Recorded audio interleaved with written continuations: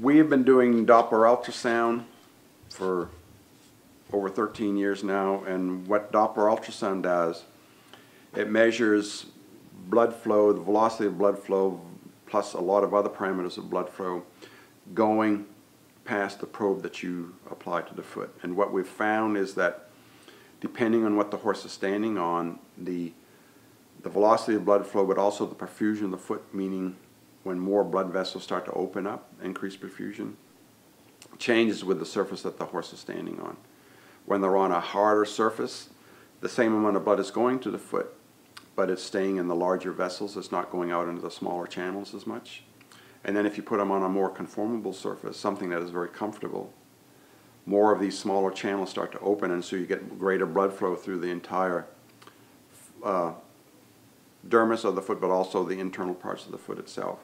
Now, with the washcloth, what we found is that if we take a horse and have it stand on a cement walkway and lift the opposite leg up and record blood flow through the, the weight, through the foot that's on the ground, we can uh, get a measure of what's going through the foot. And in this case here, due to the double loading of that foot, uh, only a small percentage of the blood flow that's going to the foot is actually getting through the foot. It doesn't go through the foot because the resistance is so great inside the foot. All of a sudden the foot is, instead of having uh, for a thousand pound horse 300 pounds on one foot, you now have 600 pounds on one foot, so you've doubled the load. Now if you take a washcloth, a cotton washcloth and put between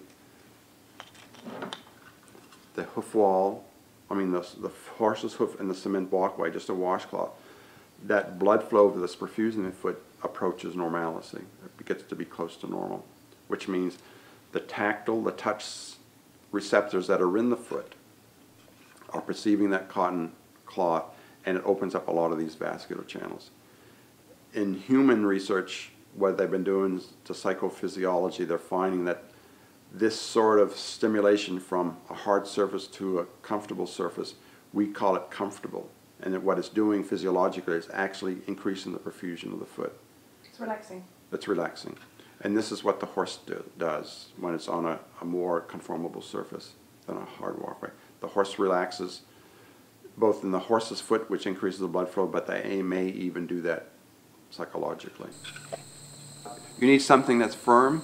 Um, small gravel, pea rock, larger gravels, so the horses will ha have access to that a certain percentage of the day when they want to, as opposed to pasture is probably not sufficient because there's been experiments in other species when they're on the, these um, harder surfaces, the bone density increases in the foot and the, the, the digital cushion becomes more fibrocartilaginous when they're on these harder pea rock gravel as opposed to pasture.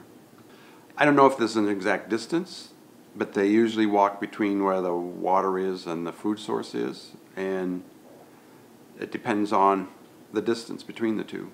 They can be walked, you know, many, many kilometers, tens up to 100 maybe kilometers, or they can walk, they've shown there's a herd in Western Canada, they average like a half a kilometer per day. But they, they walk according to uh, where the food source is and that sort of stuff. But for optimal hoof health, I really think by having the hoof wall bearing a small percentage of the weight, and I say up to between 5 and 20 percent, and have most of the weight on the solar structures, frog bars and sole, uh, you're in the running for the beginning of a, of a decent foot. So it's not the distance traveled no, I don't think it's the actual distance traveled.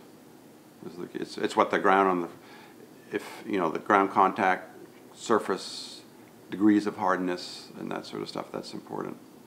Components of the whole formula.